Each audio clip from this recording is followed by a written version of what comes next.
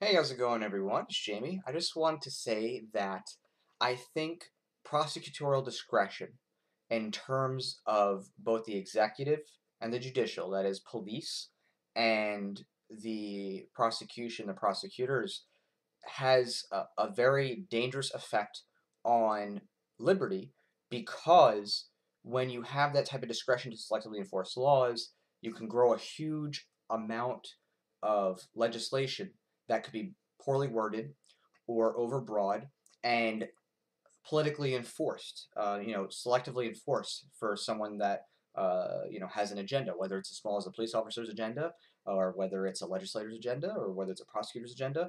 And what happens is, is that over time, uh, laws start to build up, and people just don't notice because not everybody's affected who should be affected by it.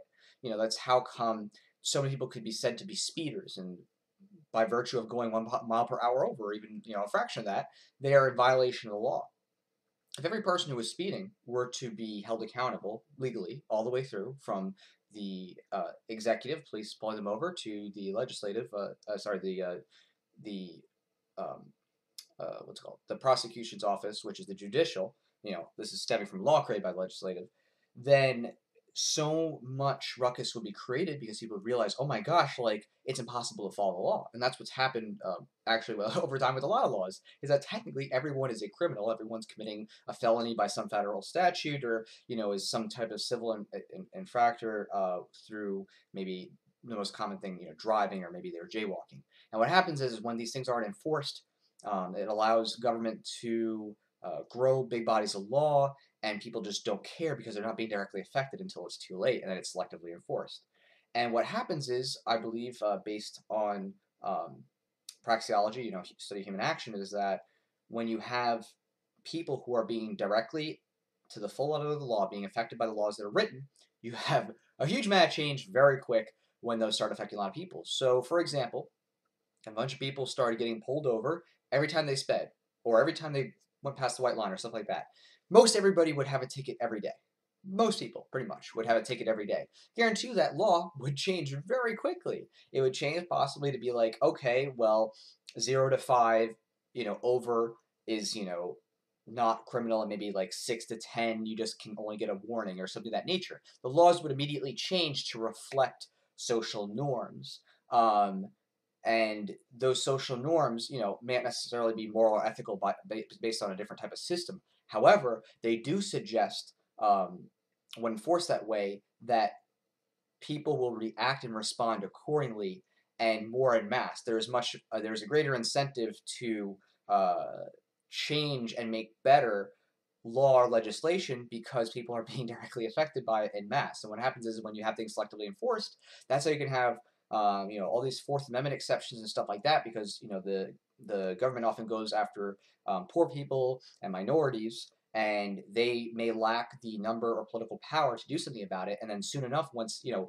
white people start getting affected who are middle class, then it's suddenly a big ruckus. Oh no, you know what I mean? They're they're you know trying to search my car without a without probable cause. They're trying to get my home without a warrant. And so lately, with all the um, mass media outlets that we have and all the abilities to record stuff like that, uh, people are exposing a lot of corruption that happens with you know the legislative, judicial, and prosecutor prosecutor uh, office uh, offices, and things are starting to change. But the truest change in terms of uh, policy would come through 100% enforcement of every law all the way to the T.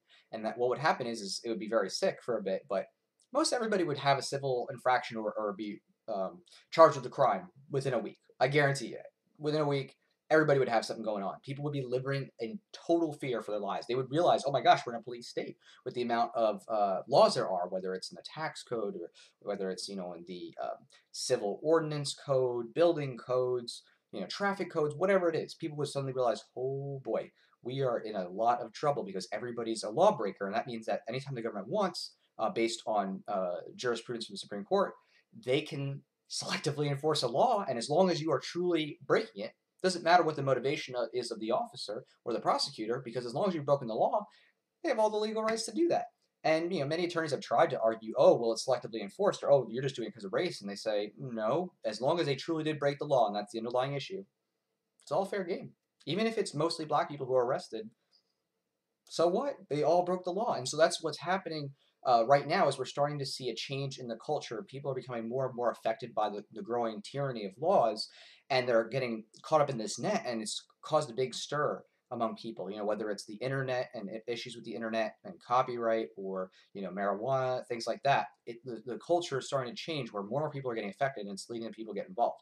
Now, closing with everything, I am presenting this from a concept of government and possibly other types of um, non-government bodies of law. Uh, I personally don't want government at all. Um, voluntarist, uh, ANCAP, non-anarchist. I don't. I don't wish to have a monopoly of force called government. Uh, however, for both the current state of what is and for consideration um, in other types of uh, creating forms of arbitration or types of, of, jurisdiction, you know, private contracting, it's something to consider that everything should be enforced 100% to the T. And uh, when you have that discretion, that leads to tyranny because laws can grow, people become unaware, and then once it, it, gets to a certain point, people can be can just fall into the net of um, being picked on because of a certain attribute by police. They can be picked on for political reasons uh, by prosecutors, um, or you know, even worse, they decide to declare with with all their might that they can and say, "Oh, that is the government." Will be like, "Oh, look, you've allowed us to do all this stuff. We're going to enforce, you know, the worst, like martial law, because we have, you know, case law behind us, and you know, the, your Fourth Amendment's nothing anymore since you know we have all these exceptions." And people just aren't used to thinking about that because they're not affected by it on a daily basis since there's selective enforcement. So I just hope that's food for thought as to why I think uh, it's a horrible idea to have any sort of uh, discretion. It should just be 100% enforcement as humanly possible. And of course, that's going to clog up the system. it's it's impossible as it is. Of course, it's going to destroy the entire system. That'd be great, uh, but it would also cause uh, people to have a pause and rethink what the laws are, how they're written, and who wrote them. Because the second that you know all that poop hits the fan, people are going to suddenly realize, oh. Looks like everybody's a criminal under this current system. We're actually much closer to any dictatorship than any other you know mainline there is a you know monarch or type of you know figure that is saying they're a dictator. I mean you have that in america right now but people are just not aware of it because it's selectively enforced. So take care everyone and i will talk to y'all later